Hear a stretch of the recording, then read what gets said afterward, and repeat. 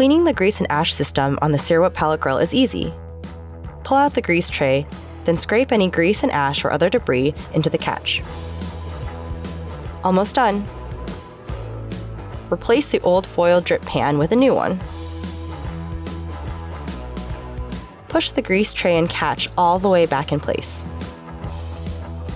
For more information, visit Weber.com or contact Consumer Care.